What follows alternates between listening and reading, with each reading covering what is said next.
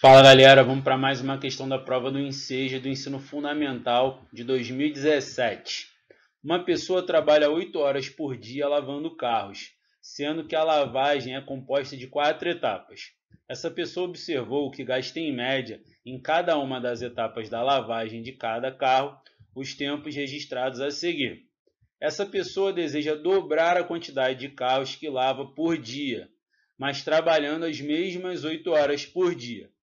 Para isso, pretende reduzir em 50% o tempo médio gasto nas etapas de enxaguar e polir e reduzir para 3 minutos o tempo médio de esfregar.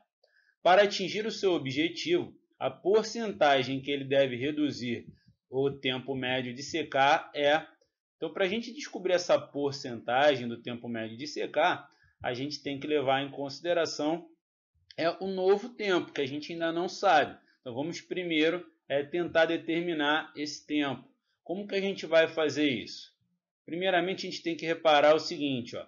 Essa pessoa deseja dobrar a quantidade de carros que lava por dia, mas, é, mas trabalhando as mesmas 8 horas por dia. Ou seja, ele tem que lavar mais rápido. No caso, para dobrar a quantidade de carros, é, o que ele tem que fazer é reduzir o tempo médio para metade. Ou seja, se ele lava na metade do tempo, no mesmo intervalo, ele vai conseguir lavar o dobro, que é o que se deseja. Então, vamos ver primeiro qual é o tempo total que ele vai gastar é, lavando cada carro nessa nova condição. Mas isso sempre em comparação à condição antiga. O tempo total que se tinha antes era de 8 minutos para esfregar, 9 minutos para enxaguar, 10 minutos para secar e 23 minutos para polir. Só que a gente vai pegar esse tempo total e vai reduzir a metade, ou seja, a gente vai dividir por 2, para que ele consiga lavar o dobro de carros dentro do horário de trabalho.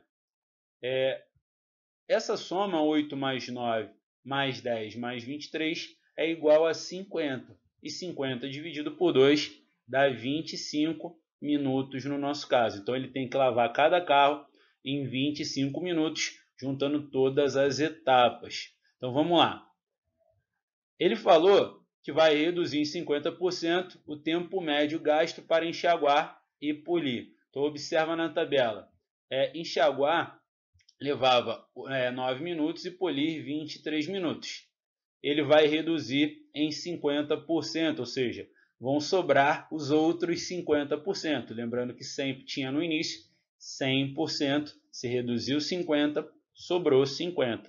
Então fica 9 vezes 50% mais 23 vezes 50%. Então isso é só para enxaguar e polir.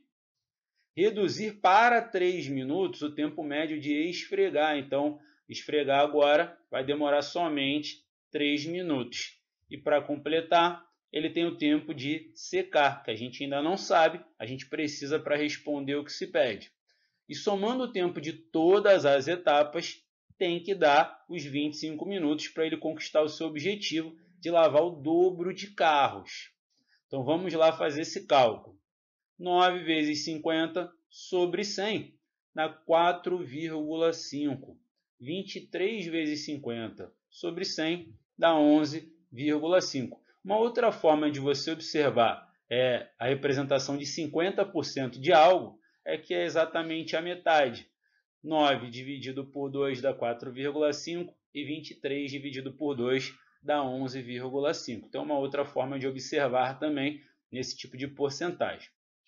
E isso mais 3 vai dar 19. Então, 4,5 mais 11,5 mais 3 é igual a 19.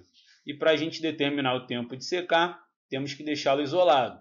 Como ele está ali sendo somado por 19, esse 19 a gente vai passar para o outro lado, subtraindo. Então, ficou 25 menos 19, que dá 6 minutos. Então, ele tem que fazer esse procedimento em 6 minutos, considerando que todos os outros é, procedimentos também têm as respectivas modificações, como a gente já considerou. Mas o que a gente quer determinar é a porcentagem que ele deve reduzir o tempo médio de secar. Essa porcentagem de redução está associada ao tempo reduzido é, dividido pelo total de tempo, vezes 100, para a gente já colocar em forma de porcentagem. Então, como é que vai ficar? O tempo reduzido, ele levava 10 minutos para secar, passou a levar 6, ou seja, ele reduziu 4. E o tempo total que se tinha antes para esse procedimento era de 10 minutos. Então fica 4 dividido por 10, o tempo reduzido, dividido pelo tempo total que ele gastava antes, vezes 100, para a gente colocar em forma de porcentagem. Então agora a gente vai fazer esse cálculo. Primeiramente, a gente tem como simplificar um zero do 100 com um zero do 10. E aí sobrou 4 dividido por 1, que dá 4, vezes 10, que dá 40%. Ou seja, o nosso gabarito ele se encontra na letra B.